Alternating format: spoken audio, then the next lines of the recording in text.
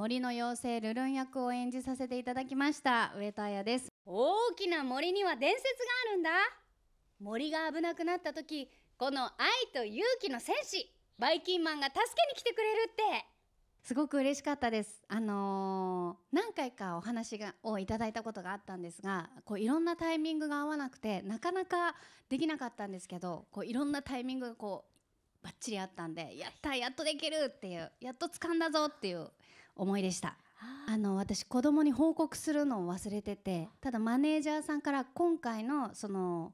ゲスト声優さんは上戸彩さんですっていうあの PR 用の動画をあのマネージャーさんから頂いてたのを携帯に保存してたんですよね、はい、写真のところに。それを子供が携帯いじってる時に勝手に見つけて「ママすごいね!」って大騒ぎになってそれを何回も見て「ママすごいね!」って言ってくれたのがすごく嬉しかったです私は、えー、ゴールデンウィークにスイカ割りをしまして